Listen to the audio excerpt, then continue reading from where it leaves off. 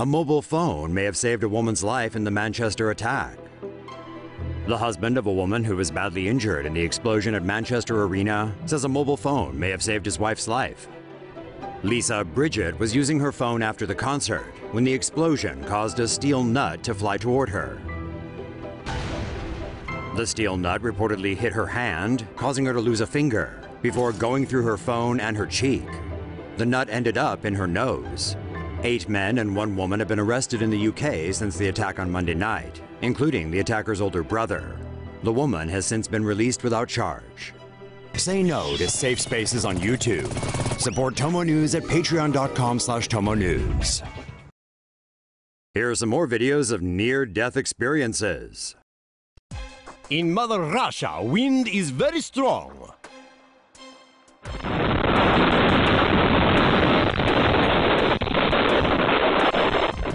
This mother and her young daughter were nearly gone with the wind on a blustery day near the Russian city of Krasnodar. Surveillance video shows the pair enjoying a Saturday afternoon stroll as high winds whip through the trees. With strong gusts blowing, pedestrians walk with their hoods up. Unaware of the imminent danger, the mother and daughter pause for a moment, their attention drawn to something out of the shot. Now, everyone needs a roof over their heads, but this is taking things too far. Grabbing her daughter by the hand, the mother makes a run for it, narrowly avoiding what surely would have been certain death.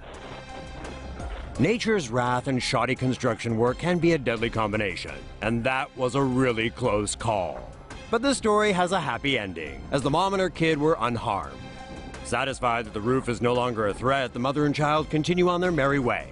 They'll probably just put the experience down to a bad case of wind. Driver narrowly escapes death after metal beam beams his beamer. A California man is no doubt counting his blessings after escaping this. The San Jose driver was reportedly heading southbound along Interstate 280 on Friday afternoon when suddenly a metal beam strapped to a nearby truck came loose. The beam flew off the back of the truck, going right through the unidentified man's windshield.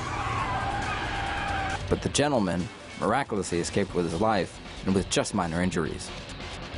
Shocked firefighters say had the man been seated slightly more to the right, he would have likely been impaled. Now that's what we call defying death. No escape. Women narrowly avoid death from oncoming train on Indiana Bridge. These two women are lucky to be alive, but before we show you their death wish, let's try to figure this out. This is what we imagine what happened. Hey, let's take selfies behind Lake Lemon. Ooh, hashtag photo of the day. Yeah, okay. I want the sunlight to get my good side. Okay. No, but seriously, on July 10th, these two women decide to trespass the railroad tracks on Shuffle Creek Trestle in Indiana. The lead engineer spotted them as the 100 car train came around a curve at 30 miles per hour, so he hit the emergency brakes. The two women hear the sound of the horn and try to outrun the 1,400 ton freight train. As they run, one woman gets caught in between the tracks and starts screaming. The other contemplates jumping from the 80 foot bridge. The woman sees her friend is stuck and goes back to save her. They realize it's too late and they both lay face down on the tracks. Let's watch that again. The train runs over both women, leaving the two realize their dumb decision nearly cost them their lives. They fled the scene, but Monroe County law enforcement have identified both women, and now the incident is considered a criminal matter. Say no to safe spaces on YouTube. Support Tomo News at patreon.com slash Tomo News. Eight-year-old survives train accident that takes life of grandfather. An eight-year-old southwestern Virginia boy escaped a tragic train accident over the weekend that took the lives of a seven-year-old girl and a 52-year-old man believed to have been the children's grandfather.